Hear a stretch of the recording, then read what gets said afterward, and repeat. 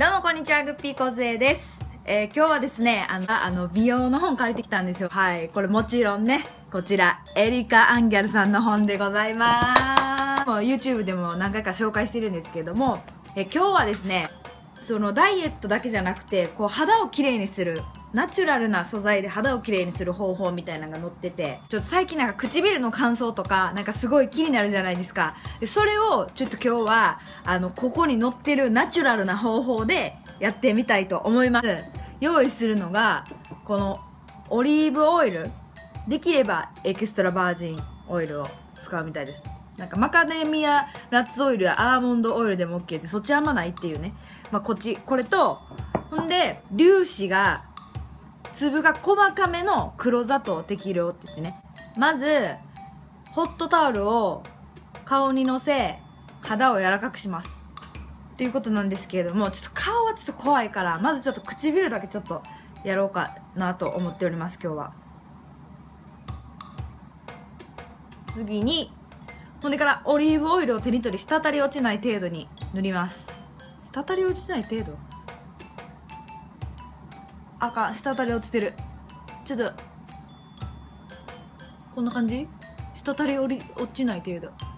うわ。あこれめっちゃアンジェリーナ・ジョリーみたいになってるやん。うんうんうん。こういう女いますよねなんか。グロステロテロ女ね。んで次に黒砂糖を伸ばしていく。ゴシゴシはこすらず優しく。で20秒から30秒ぐらい。こういう感じ？うん。すっ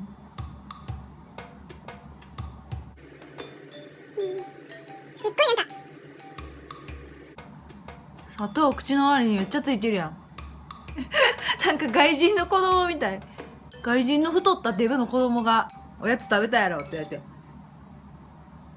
食べてない」みたいなねすごい。